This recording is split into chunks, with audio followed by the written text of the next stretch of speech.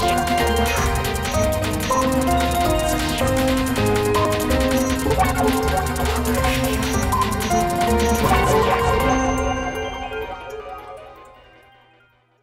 Olá, voltamos agora com o repórter NBR e as notícias do governo federal.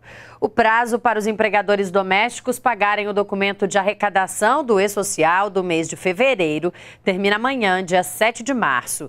E nós vamos falar ao vivo com o repórter Ney Pereira, que tem as informações. Olá, Ney, boa tarde para você.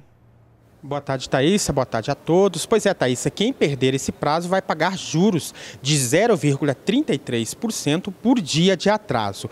O documento reúne em uma única guia as contribuições fiscais, trabalhistas e previdenciárias e deve ser recolhidas pelos empregadores domésticos. Para a emissão da guia unificada, o empregador deve acessar a página do E-Social na internet. O E-Social conta com mais de 1,25 milhão de trabalhadores trabalhadores domésticos e 1,18 milhão de empregadores cadastrados. E no dia 1 de março começou o prazo para o envio das informações pelo e-social das empresas com faturamento superior a 78 milhões de reais por ano. Elas devem incluir no sistema as informações sobre seus empregados e vínculos, como, por exemplo, contratações, afastamentos e demissões. Na primeira fase do programa, que terminou no dia 28 de fevereiro, mais de 12 mil empresas enviaram informações relativas a cadastros do empregador e tabelas. O próximo passo, passo do, do cronograma para as grandes empresas será o envio da folha de pagamento, isso a partir de maio. As empresas com faturamento inferior a 78 milhões de reais por ano passam a ser obrigadas a enviar as informações pelo e-social a partir do segundo semestre deste ano. Volto com você, Thaisa. Muito obrigada, Ney, pelas suas informações. A produção industrial cresceu 5,7% em janeiro, em comparação ao mesmo período do ano passado. O resultado foi divulgado hoje pelo IBGE. Em 12 meses, a alta acumulada chega a 2,8%. Mas, se comparada com dezembro de 2017, a queda em janeiro foi de 2,4%.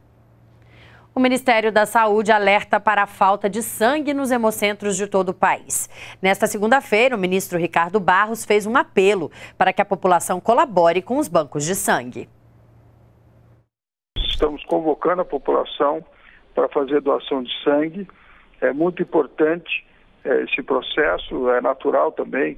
É, nessa época, é, houve aí férias né, e as pessoas mudam a sua rotina acabaram não, não fazendo as doações regulares. Mas nós precisamos sim sensibilizar a população para fazer as suas doações de sangue nesse momento.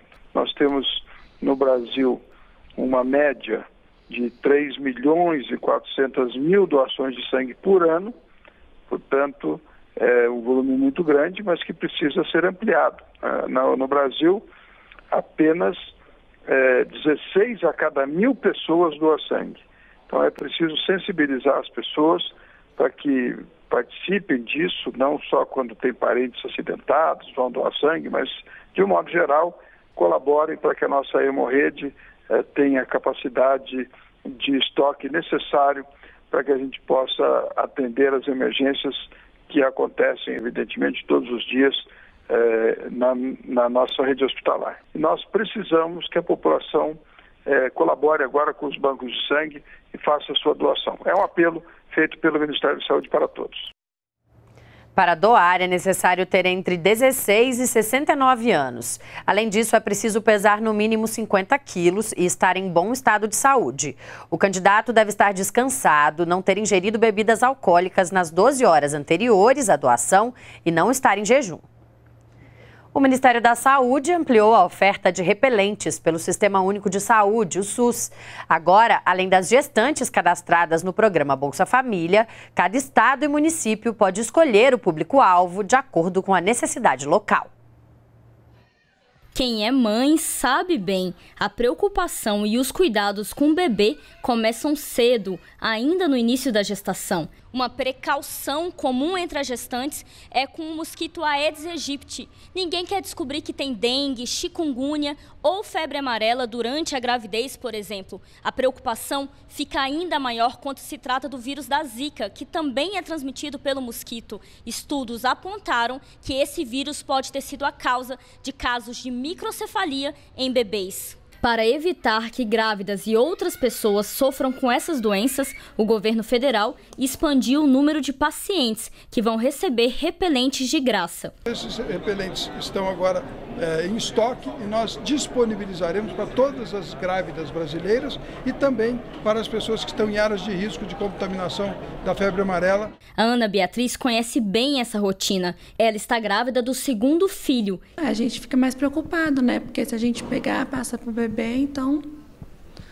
é muito perigoso, né? Então é importante o repelente. Muita gente não tem condição de, de pagar, porque é, é caro às vezes, né? Então, é sempre importante a ajuda do governo. Do governo. As secretarias estaduais e municipais de saúde vão definir quais pessoas podem receber o produto. Idosos, pessoas que não podem tomar a vacina da febre amarela, moradores de áreas rurais e profissionais da saúde podem ser selecionados. Moradores de locais com epidemia de doenças causadas pelo mosquito também devem ter prioridade. Para receber o repelente, é preciso procurar um centro ou um posto de saúde que fique perto da sua casa. Ainda hoje elas chegam na unidade para essas palestras e para as consultas com a inquietude da zika.